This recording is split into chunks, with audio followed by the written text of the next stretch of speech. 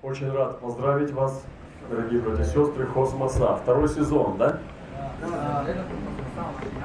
Вот. И, конечно, это для нас тоже большой праздник, потому что мы соединены вместе в одном духе. Очень э, поздравляем вас тоже. И, конечно, когда повезу Владивосток, это радостную вещь, что здесь началась космоса. Я думаю, там будет просто большой-большой шум, да. много будет радости. Вот, это просто большая благодать, потому что мы очень сильно любим Израиль, любим то, что здесь происходит. Я на самом деле от сердца благодарю Господа за вас, потому что я вижу, что это движение, которое родил Господь, здесь есть эти воды живого колодца, и ваша вода, она течет не, не только э, к себе, она течет также по улицам Израиля. И она вытечет из Израиля, потечет народы. Вот. И сейчас уже э, хорошая практика идет у Шамиля.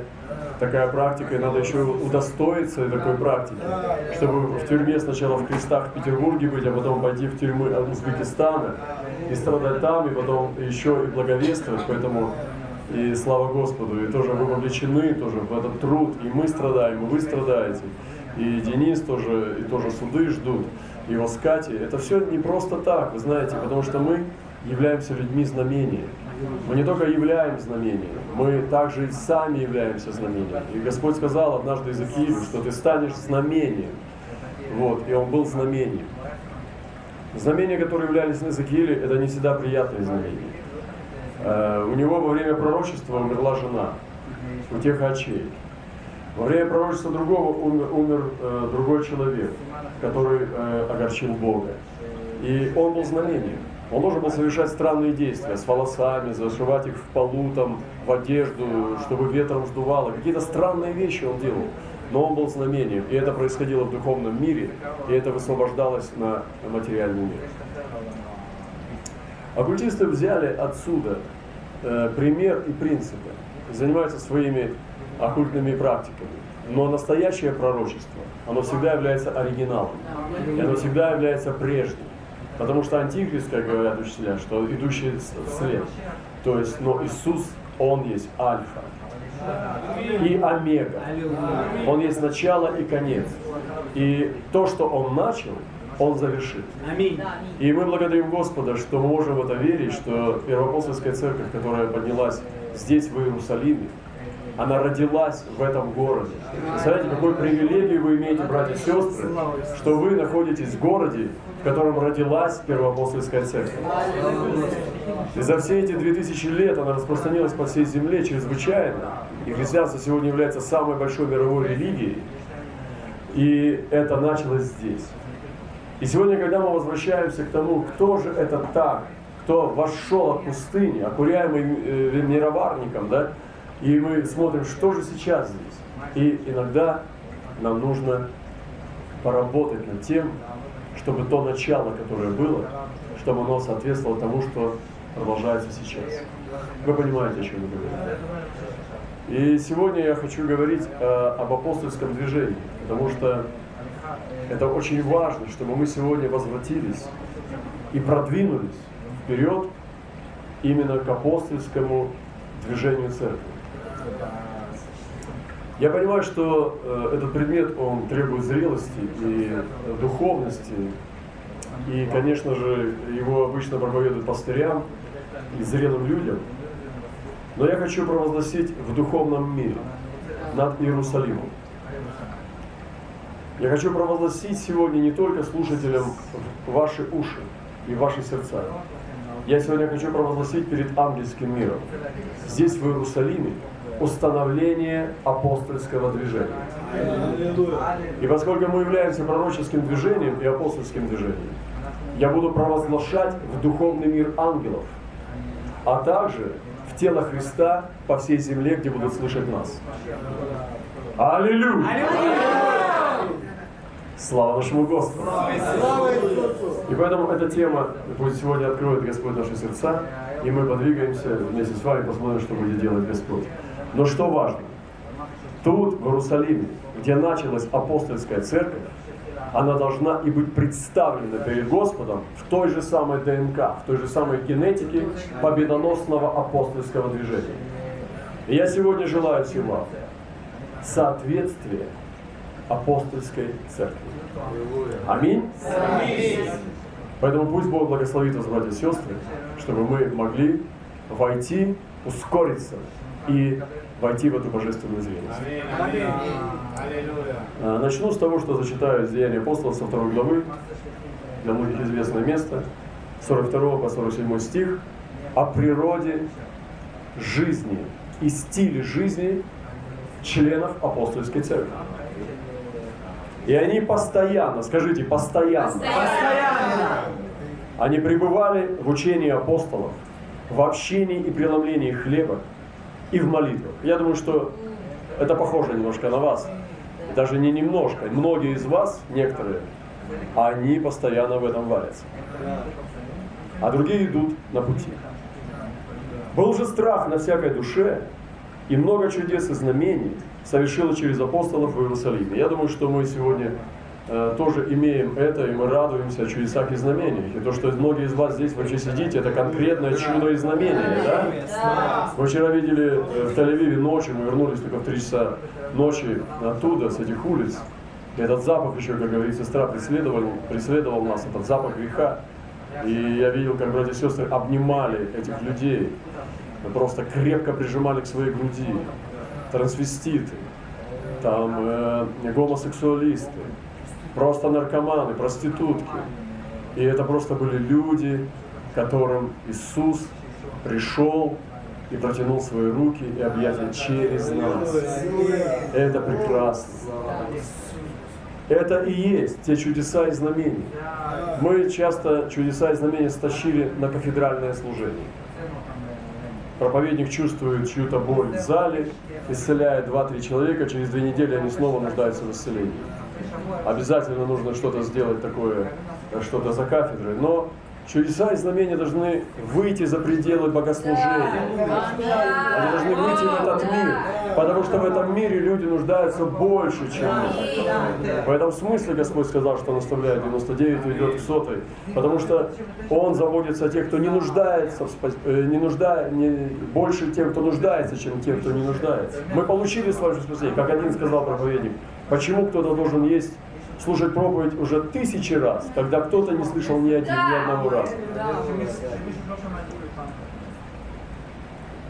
Все же верующие были вместе и имели все общее. Это также похоже на вас. И продавали имение и всякую собственность, разделяли всем, смотря по нужде каждого.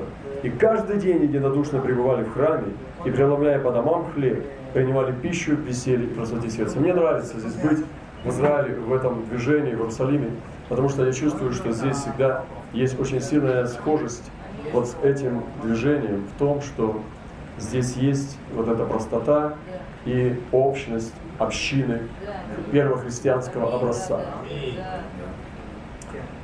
Может быть, по сравнению с Западом и образцом устроенных мега-церквей, это немножко слишком сурово. Это немножко сильно дико. Но вы знаете, это похоже на первоапостольский образец. И может быть не в таком масштабе, как тысячи людей, но это похоже. И написано, что они принимали пищу, веселье, красоте сердца. Многие церкви вместе не кушают. Многие церкви не преломляют ежедневно, они не собираются ежедневно. Вы же живете ежедневно. Вы видитесь ежедневно. И это правильно, быть в ежедневном движении. И написано, хваля Бога и находясь в любви у всего народа. Господь же ежедневно прилагал спасаемые церкви. Мне тоже очень приятно приезжать сюда и видеть все равно рост. Мне приятно видеть новых людей, которые приходят к Господу и которые отдают свои сердца нашему Господу. Аминь. Аминь. Итак, сегодня мы э, нуждаемся в том, чтобы была высвобождена апостольская мантия. Скажите, апостольская мантия. Апостольская мантия. Недавно к нам приезжал один э, человек, и он несет апостольское служение в одной сети. Есть вертикальные апостолы, есть горизонтальные. Вертикальные – это те апостолы, которые соединяют апостольские сети. Горизонтальные апостолы это которые владеют, э, управляют одной сетью. И он делился о том, как однажды он повстречался с одним апостолом. И тот пригласил его к себе домой. И он сказал ему, что он хочет ему помочь в, в росте в апостольское служение. Другими словами, обрести э, полноту апостольской мантии. Я спросил его, как, что он тебе сделал? Как он тебе помог? Расскажи. Он сказал, он брал меня с собой в поездки и наделял. Это очень важно. Вчера мы говорили о вовлечении. Когда ты будешь двигаться с апостолом, на тебя будет приходить апостольская мантия. Ты будешь двигаться с пророком, на тебя будет приходить пророческая мантия. И это очень важно. Скажите, вовлечение. Вовлечение. Потому что мы не можем получать мантию через теорию. Мы не можем получить мантию только через учение. Мы можем получить мантию через вовлечение в практику. И когда мы видим э, Иисуса Навина, который двигался с Моисеем, он видел, как Моисей молится. Он вставал раньше Моисея, может быть, чтобы проследить, как он идет в скинию. Он помогал ему, он был его оруженосцем. И вы знаете, что интересно, что не сыны Аарона, не сыны Моисея, у него тоже были дети, не верховные лидеры и старейшин 70, которым был дан дух – они были помазаны на преемственность следующего вождя Израиля. Но оруженосец, который был из другого колена, он был помазан, Моисей был из колена Левия, Иисус Навин был из колена Иудина. И он был помазан на то, чтобы стать вождем Израиля после Моисея. Хотя в этом молодом юноше не было ничего выдающегося. Он просто был вовлечен в жизнь Моисея. Да, служитель Моисея. И это не было постыдно называться служителем Моисея. Кто-то скажет, а как так, Моисей? Я, я не служитель Моисея, я служитель Господень, да? Но он был служитель Моисея. И Господь его поднял и поставил. Мы читаем о вооруженосце, о сыне пророческом Елисее, как он помогал Илии, поливал руки. А вы знаете, что такое поливать на руки э, пророку воду? Это значит, надо встать рано, согреть эту воду, надо ее наносить. И чтобы когда пророк пристал, и потом стал умываться, ему нужно было поливать теплую воду. Это значит, что ему нужно было работать и трудиться на. То есть это тоже высокий уровень требования и дисциплины. И поэтому для того, чтобы быть вовлеченным, есть тоже определенные требования, чтобы быть не обузой для тех, кому ты вовлечен, а быть благословением. Мне приходится по служению порой брать людей с собой в поездки и двигаться вместе. Вы знаете, я э, учился этому несколько лет, и я знаю, что иногда бывают люди обузой. А, они могут быть проблемой, Потому что ты берешь проблему, капризы, не от отсутствие дисциплины, отсутствие духовности, не, за, э, не отсутствие заботы о духовных дарах. Следующая степень может быть человек бесполезный. То есть он не приносит он просто как ученик, может быть, ты его наделяешь, но он не может быть с тобой вовлечен, чтобы быть сотрудником, потому что он не приносит ни откровения, ни поддержку, он не молится за тебя. То есть ты просто, ну, просто возишь с собой младенца. Вы знаете, что на серьезные дела ты не берешь с собой детей, потому что дети будут обузы для этих дел. Мы не, не на все мероприятия берем своих детей, правда? Потому что на некоторые мероприятия их брать опасно для самих детей. И есть полезные сотрудники, которых ты берешь, они вовлечены, и они начинают не просто сотрудничать, они начинают поддерживать э, самого, сам сосуд, э, или же откровениями, или молитвенной поддержкой, просто укреплением, просто служением. Вы знаете, с некоторыми братьями, которые я вижу, я буду говорить откровенно с вами. Вот. И э, для, с некоторыми братьями они являются благословением большим. Потому что, когда ты вовлечен в определенное служение, иногда не бывает у тебя столько времени, простите меня, даже постираться или приготовить пищу, потому что ты должен постоянно быть на концентрации. Кто-то, кто из вас, если вы проповедовали, вы понимаете, как важно находиться в измерении, когда ты должен слышать голос Господа и пребывать в этом. И люди, которые не понимают это, они ну как бы бьют из тебя силу. Но те, кто понимает это, они дают тебе силу. И мы все люди, мы не железные. И апостол Павел умолял тоже, молиться за него. Великий апостол, он нуждался в молитвенной поддержке. И он говорил, молитесь за меня, чтобы была открыта великая пространная дверь. И таким образом апостол Павел поддерживался облаком э, духа, потому что церковь ходатайствовала за него. Но не каждый это понимает. Все ждут от Божьего человека чудес, знамений, суперслова, супердуховности, суперхарактера, супер э, качеств и так далее. И осуждают его за то, что он им этого не дает. Но они не понимают, что за этим всем есть цена. И что сам сосуд, который выступает публично, он находится в процессе роста. И он сам находится в процессе зрел, э, роста зрел, зрелости. Вот почему апостольская мантия держится не одним человеком. Она держится группой людей. И она дается группой людей, она не дается одним человеком. Вы здесь сегодня? А кто-то сказал, что за каждым великим человеком стоит великая женщина. Ну, это про семью, конечно. Павлу так не относится. К Иисусу тоже. Но тем не менее, также за апостолом стоит команда, которая позволила ему высвободиться в апостольское, и которая держит эту апостольскую мантию чистой и непреткновенной. Вы здесь? Да. И он сказал, что когда он двигался с этим апостолом, апостол вовлекал его в служение, и таким образом он восходил. Но тот апостол, который его взял с собой, он сказал, он его спрашивал, э, ученик спрашивал учителя, э, как ты достиг этого? Он сказал, меня научили, что я должен выявлять сокрытых апостолов, неизвестных апостолов на полях мира и активировать их и высвобождать в помазании.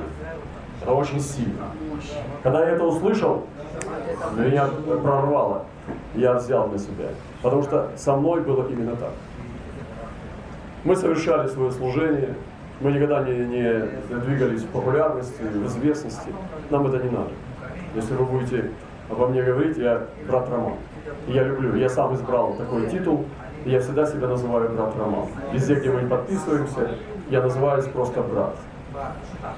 И не даже когда меня называют пастор, я говорю, я не пастор, я Роман. Вы же называете человека шофер, инженер, ну, там, я не говорю, пастор, пастор, в смысле пастор? У меня имя есть.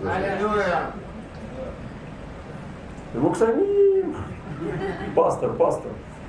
Э, у меня есть имя, мне так комфортно.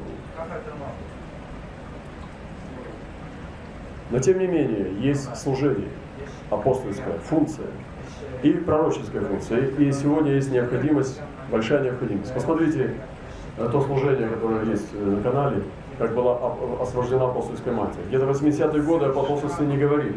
Если вы проследите современное христианство, там было крещение духом, было э, руководство дарами, было упор на прославление, потом было э, ударение на мега-церкви. И мы видим волны движений в церквях, когда э, акценты как бы мигрировали, и теле Христа были разные акценты. Где-то в 80-х годах стали говорить об апостольстве. И этот брат, он рассказывает, как он был однажды взят в духе, перенесен в Рим ночью. И он видел двух демонов, которые держат апостольскую мантию. Он связал этих демонов, и они освободили апостольскую мантию и были э, пленены цепями. И после этого, в 80-е годы, это было там, где умер апостол Павел. И после этого апостольская мантия была связана. И он освободил эту апостольскую мантию, и после этого стали учить. По всему миру пошло учение в апостольстве. Стали подниматься апостолы, об этом стали концентрироваться учителя, и стали высвобождать. Пророки стали подниматься, которые стали больше говорить об апостольстве, учить об апостольстве. И апостольская мантия стала падать на многих, во многих странах мира. Она приходит сейчас и в те места, где высвобождается. Я сегодня не случайно вам высвобождаю эти слова. Потому что Израиль сегодня нуждается в апостольской мантии. Если вы будете откровенны, и мы будем откровенны, то сегодня в Израиле есть большая нужда в апостольских движениях. И парадокс заключается в том, что вообще-то здесь родилась апостольская церковь, но что-то было утрачено. И сегодня идет возвращение. Апостольская мантия прошла по всему миру. И она сегодня также путешествует. Она падает в разных странах мира. Сегодня очень много, большое количество мантий апостолов упало в Азии. Сегодня очень много в Африке, на африканском континенте настоящих апостолов. Я встречал африканских апостолов.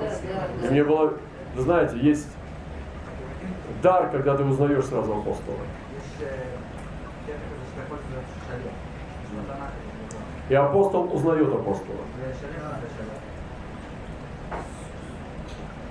И сегодня Господь хочет вернуть эту мантию на Израиль. Но нам нужно приготовиться.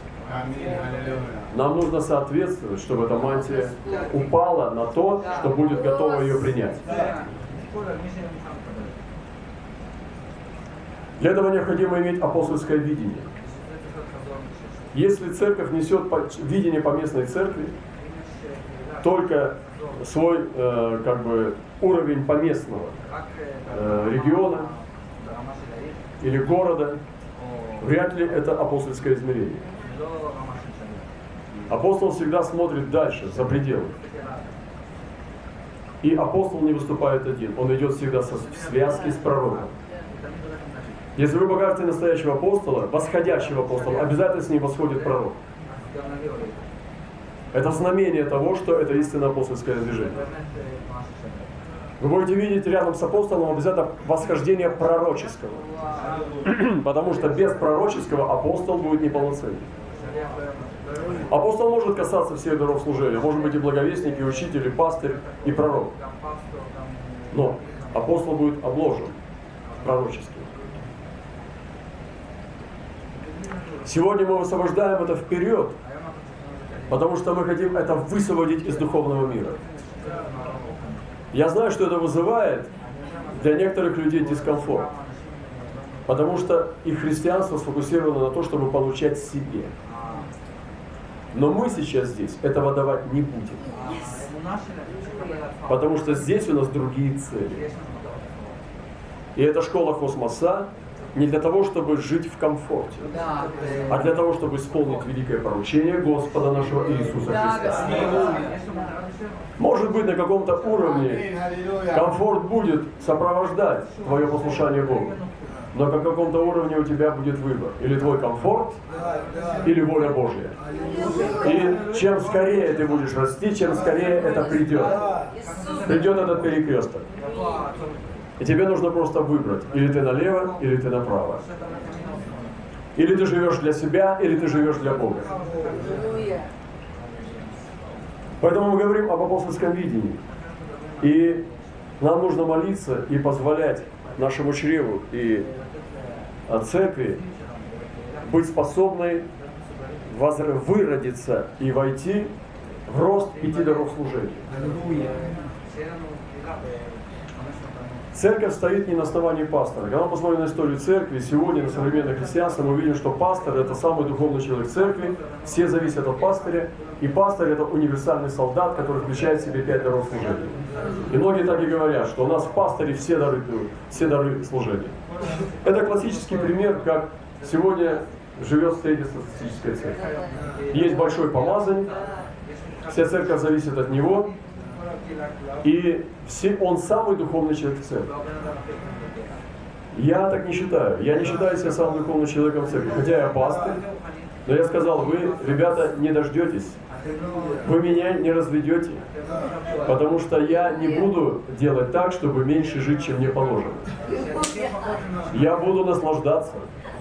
Потому что я не самый духовный человек церкви. У меня не самый лучший характер, и поэтому я не должен вам дать самый лучший характер. Может быть, вы увещатель, поэтому демонстрируйте свой характер тем, кому вы увещаете. А я служу своим даром, который И вы знаете, ну, на публичном служении всегда сложнее, потому что тебя все рассматривают, обсуждают, обсуждают твою жену, твои новые ботинки, обсуждают то, как ты проповедовал или как ты не проповедовал, куда ты делся, где ты появился. Это, ну, сложно вообще. Любите своих пастырей. Вы здесь сегодня? И вообще-то в церкви безопаснее сразу несколько пастырей поднять. Потому что один пастырь это очень опасно и очень тяжело. Познайте Богу славу. Да. Мы в церкви сделали сразу очень хорошую вещь. У нас сразу несколько пастырей. И мы говорим, иди к пастырю. Они говорят, брат, мне надо с тобой поговорить. Я говорю, иди к пастырю. Они говорят, а ты кто? Я говорю, ну, я тоже пастырь, но по части душепопечительства вот он. Они говорят, нет, я хочу тебя. Э, не пройдет. Я слабый, он сильный. Я силен в своем, я знаю в чем. Если он тебе не поможет, я тебе не помогу.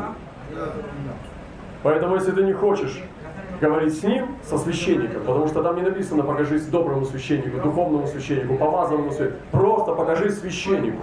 Да. То тогда я тоже тебе не помогу. Поэтому извини, пожалуйста, тебе надо смириться. Иди вот к этому пастырю. Он у нас двигается по душе попечительству. И я не настолько глуп, чтобы поставить всех людей в зависимости от себя такого крутого, могущественного. Я хочу жить. И жить счастливо. Чтобы моя нервная система сохранилась до дня явления Господа. И чтобы я наслаждался и был полный мир. Вы здесь сегодня? Это не психология. Это воля Божия, чтобы у нас были пастыря. И апостол Петр говорит, пастырей ваших умоляю. И он поставил от них пастырями, понимаете, евангелистами и так далее. И в церкви может быть несколько пастырей, которые пасут народ Божий. И это хорошо. Поэтому сегодня нам надо перейти от классического, э, так, обывательского такого, как бы христианства, номинального, которое никогда не высвободит пять даров служения. Потому что это совсем другая духовная структура. Нам нужно изменить эту природу, лидерство.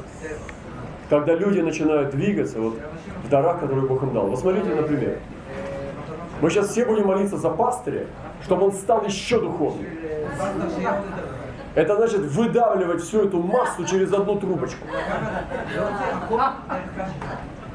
Или же мы с вами придем к тому, чтобы каждому из нас двигаться в тех дарах, которые Господь нам И мы выдавимся через свою трубочку. И полезет, знаете, вот как э, мелишь мясо через эту мясорубку. Или представьте, через одну только, через пасторский дар. И поэтому нам нужно прийти к дару, который Господь нам даровал, и служить тем даром, который Бог нам даровал. Но над этими духовными дарами, э, которые Господь нам даровал, стоят дары служения. И это не один пасторский дар. И поэтому церковь стоит не на пастыре, а на апостолах и пророках. И эти дары гораздо мощнее и могущественнее. И служение апостольское обязательно стоит не на основании пасторского дара, а на основании апостолов и пророков. Вы найдете это несколько раз в Писании. Сегодня же, когда церковь утратила апостолов и потеряла апостольскую мантию, ничего ей не оставалось делать. Как только запуститься в теологические институты, желательно, чтобы подольше. Большая голова и маленькие ноги. Ученые, а не ученики. И также идут в то, чтобы просто ну, человек один взял на себя всю ответственность духовности и демонстрировал ее по воскресеньям.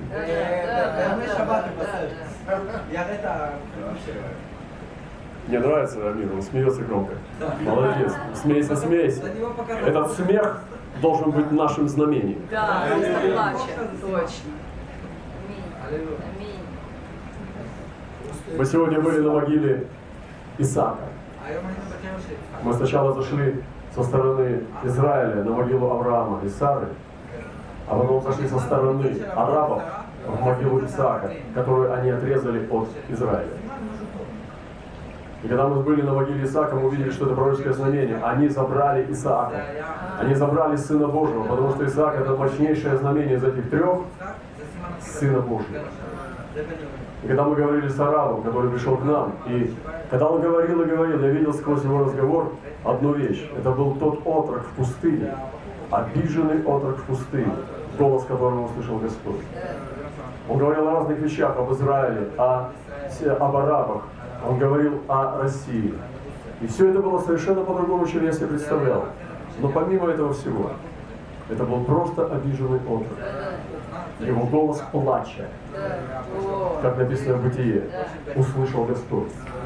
И потом я увидел второго араба, нашего Амира, которого мы крестили. Аллилуйя! Это, был, это был тот араб, который должен быть в воле Господа, который принял Христа и спасся через Мессию. Поэтому молитесь за брата, держите его в молитве, потому что он сегодня как первый плод. Аллилуйя! Для вас, для нас.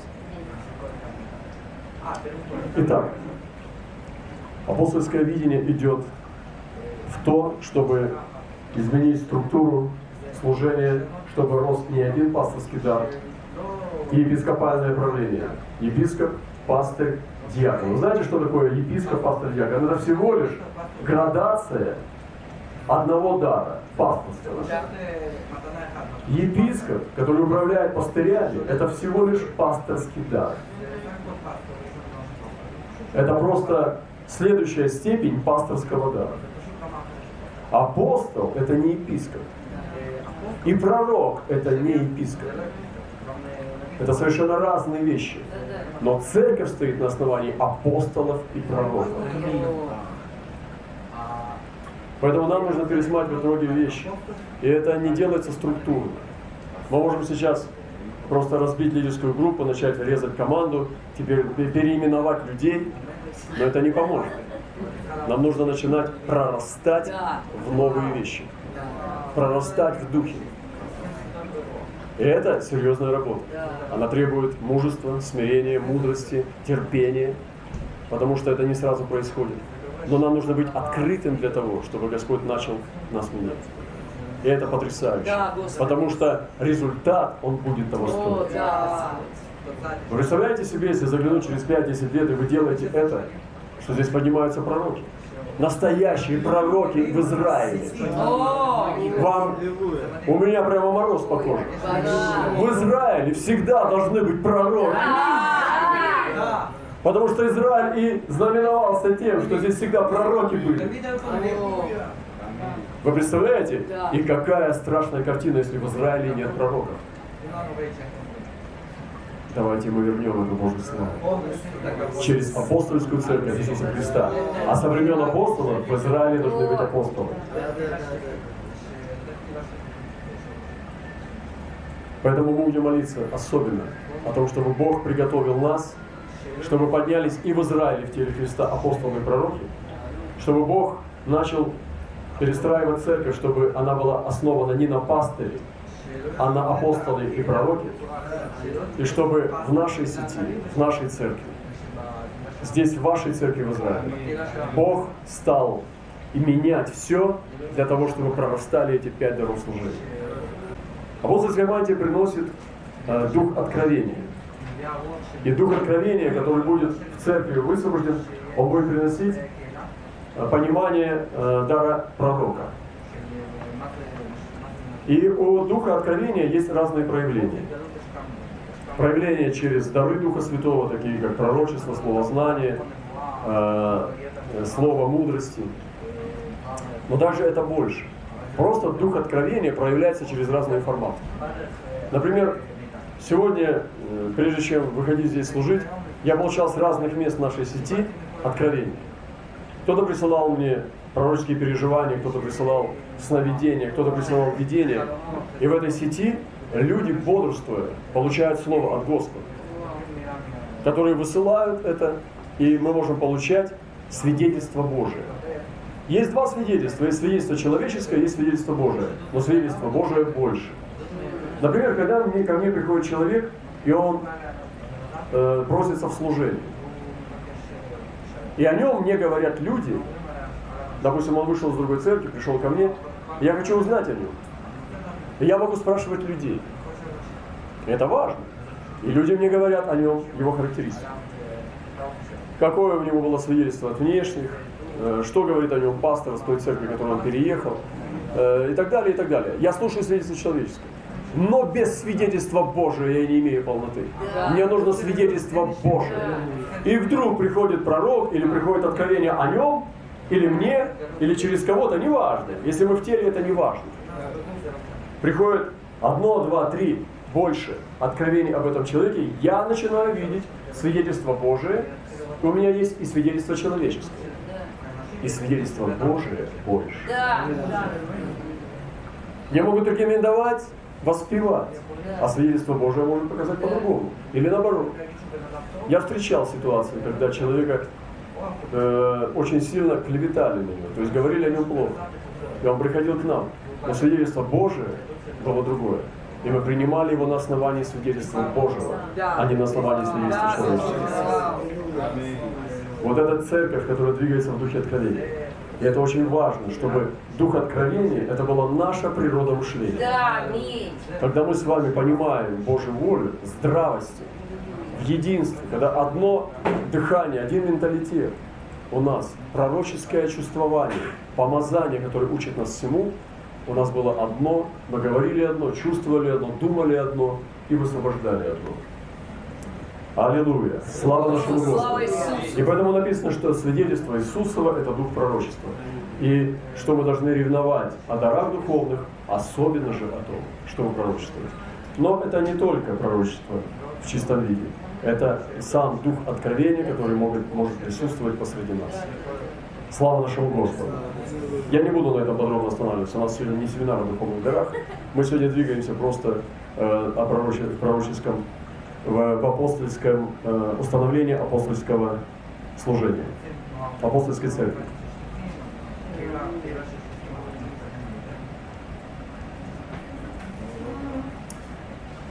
Церковь, которая получает и э, врастает в апостольскую мантию, она начинает получать апостольское мышление. Апостольское мышление больше, чем пасторское мышление. Апостольское мышление – это мышление победоносности. Апостольская церковь, она не будет иметь э, отказ от воли Божией из-за недостатка финансов, из-за недостатка даров, из-за, из-за политических ситуаций, из-за внешних обстоятельств. Она не будет на это смотреть, она будет это прорубать. Да, аминь. Аминь. Она будет это перелазить, Да. как лоза помазания Иосифа. Что он подходит к стене и перелазит через стену. Помазание Иосифа. Или помазание стенобитной машины, которая разрубает двери, бьет стены и прорубает скалы. Вы понимаете, потому что апостольское движение не будет смотреть на обстоятельства, оно выше обстоятельств. Апостол не может куда-то не поехать, потому что у него нет денег. Да.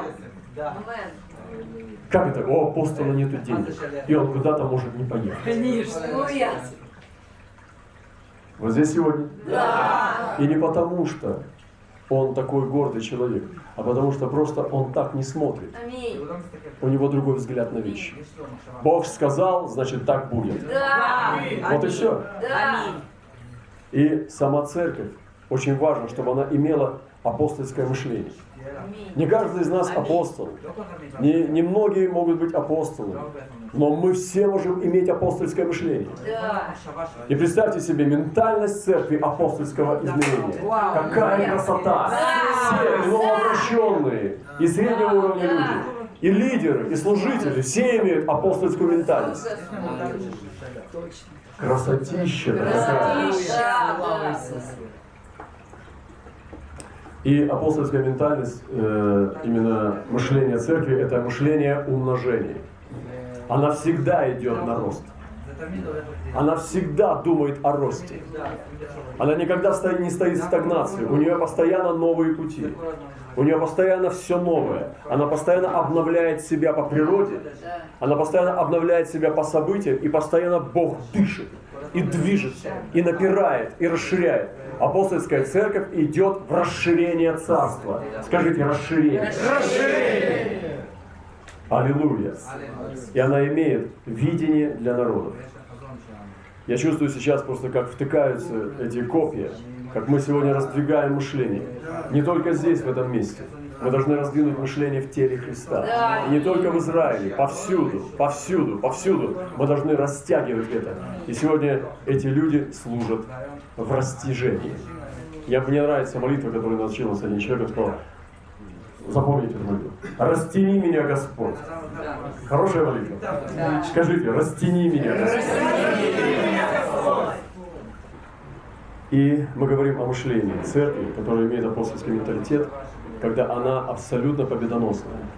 Когда она побеждает, когда каждый член участвует в ученичестве, он ведет конспекты, молодежь, разные поколения, видение для народов, она молится, она побеждает. Потому что смысла в школе нет.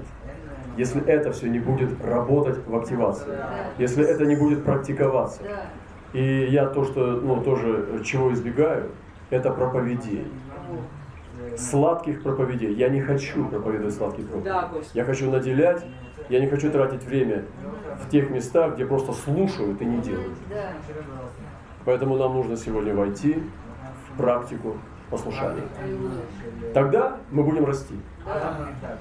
Иисус Царь. Аллилуйя. Слава нашему Господу. И последнее я хочу закончить сегодня. Это откровение о теле. Апостольская церковь движется не в том, чтобы поднимались звезды, но поднимались члены тела. Мы не верим в звезд. Мы верим в дары Духа Святого. Мы верим в членов тела Христа, которые не используют благочестие для прибытка, а которые служат в теле. И очень важно здесь понять, что в теле работает откровение крови. В чем заключается символ вечери? Если вы поставите сейчас в чашу кровь, это значит, кто-то умер. Кровь на асфальте, это значит была авария или убийство. И когда Иисус дал чашу с вином и сказал, пейте, это моя кровь, это значит, что это было знамение смерти. Потому что естественно для человека, когда кровь внутри тела. И тело не функционирует, кровь не функционирует в звезде в каком-то помазаннике, как в чаше. Она функционирует в теле Христа. И когда мы находимся в, здоров, в добром здравии, в здоровье, то кровь Иисуса Христа движется внутри нас, в теле. Если же она движется в одном только человеке, и все бескровные, есть бескровные церкви, церкви есть там, где о крови не учат, где нет откровения крови. Есть холодный, знаете, малокровие у человека. Он постоянно бледный, вен нету, постоянно мерзнет, всем жарко, у всех вены надутые, а он постоянно мерзнет, потому что у него малокровие. И сегодня нам нужно много крови в теле. Наши вены должны быть надутыми. Наше давление должно быть хорошее. Наша кровь должна быть сильная. Потому что у нас есть откровение о теле. И мы являемся с вами телом Христа, а порознь член. И апостольская церковь, она очень внимательно относится к тому, чтобы тело Христа принимало кровь. Чтобы кровь двигалась, чтобы наше тело было горячим. Чтобы мы не мерзли, но чтобы нам жарко было от любви. Слава нашему Господу. Дары Святого Духа. Это постоянная ревность, постоянное культивирование атмосферы даров Духа Святого. Когда люди не сухие, пришли сидеть, слушать. Но когда они сами ищут Господа. Если я спрошу вас сегодня, не поднимайте руки, кто сегодня молился о дарах Духа Святого? Кто сегодня из вас ревностно просил Господа, дай мне дары? И Писание говорит, ревнуйте о дарах духовных, особенно то, что кровь. Кто из вас просил сегодня пророчество? Кто из вас сегодня читал Библию? Кто из вас сегодня чит... Э, лично молился в тайне? Вот так делает апостольская церковь. Ученики имеют ежедневное общение с Богом. У них есть тайная молитва. Вы никогда общей молитвой не замените тайную молитву. Вы никогда не замените э, слушание проповедей э, слушанием проповедей то, что вы читаете Библию лично. Потому что когда вы читаете сами Библию, вы говорите с Богом в тайне. И Бог, Он в тайне, и Он воздает явно. Поэтому нам нужно иметь тайные отношения с Господом. В них сила. И это надо делать каждый день. Но я говорю вообще-то, это первый класс, вторая четверть. Что если этого нет, мы еще не ученики. Ученик, он каждый день ученик. Ученик не ученик раз в неделю или как придется. Ученик, он каждый день ученик. У него ежедневная молитва и у него ежедневное общение со Словом Божьим. Вот с этого начинается ученичество.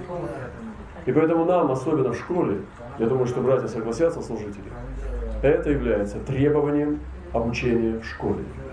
Если это не станет требованием, тогда мы просто будем слушать или забывчивы. Потому что кто, как не вы, братья и сестры из Израиля, должны научить весь мир, как надо любить Господа. Вы слышите? Кто, как не вы, должны научить весь мир, как надо ревностно любить Господа. Ведь это же народ пророков. Ведь это же земля апостолов, которые всю свою жизнь отдали для Христа. И поэтому сегодня, когда вы посмотрите на Азию или на Европу, они должны увидеть, что вы чемпионы. В отношении жертвенности, в отношении ревности. И сегодня меня снедает эта ревность, когда я вижу плотского еврея. И я думаю, ай-яй-яй-яй-яй-яй. Когда я вижу духовного китайца и плотского еврея, во мне все падает. Потому что я думаю, все должно быть наоборот. Все должно быть наоборот. Разве нет? Господь благослови нас во имя Иисуса Христа. Поэтому мы должны работать с дарами Духа Святого. Дары на пустом месте не растут. Они растут на ревностной почве. Когда мы культивируем эту жажду, этот голод по Богу, искание Его с раннего утра, мы ищем Его ночами, мы ревнуем о том, чтобы дары прорастали, чтобы те, которые есть, они бились сильно, а те, которых нет, они тоже были наши. Господь будет изливать на такую почву. Потому что в сухую землю он не будет кидать хорошие семена. Он должен убедиться, что земля плодородна, что в ней вырастет это, эти дары. Слава нашему Господу! Но так мы немножко с вами прикоснулись чуть-чуть. Мы еще даже не вошли туда. Мы только прикоснулись. Пусть Бог благословит нас, дорогие. Я хочу сейчас через пару минут молиться. Я, конечно, рад очень, что здесь сейчас идет речь об этих вещах. Вот, я знаю, что это непопулярная тема вот, в том плане, что этого немного сейчас в мире. Кто-то сделал из этого э, шоу, кто-то сделал из этого, э, то есть не трогает это вообще. Но то, что сегодня Господь хочет видеть, это чтобы в Израиле поднимались церкви, которые будут способны насаждать новые церкви. Которые будут способны пойти по всему Израилю и насадить во всех городах и селениях церкви. Причем церкви, которые будут полноценно знать Бога, которые будут нести откровение Иисуса Христа, измерение побеждающего. Сегодня Господь хочет, чтобы здесь возродилась такая община. И Он хочет дать апостольскую мантию Израилю. Я думаю, что здесь есть несколько апостолов Израиля. Но этого мало. Даже 12 апостолов остались в Иерусалиме и никуда не двигались. Они Павла благословили язычников, но 12 должны были в Иерусалиме. Я не уверен, что сейчас есть в Иерусалиме 12 апостолов. Я не думаю, что даже есть 5. Я не знаю, но я так не думаю, я не чувствую. И Бог хочет высвободить эту мантию. Он хочет найти человека, людей, которым дать служение пророков, служение апостолов, служение евангелистов. Братья и сестры, мы можем стать этими людьми. Мы призываемся стать этими людьми. Что мы ответим Господу, который говорит, кто пойдет для нас? Я не знаю, какие слова надо говорить. Я только одно скажу вам. Господь сегодня ждет нас. Давайте встанем.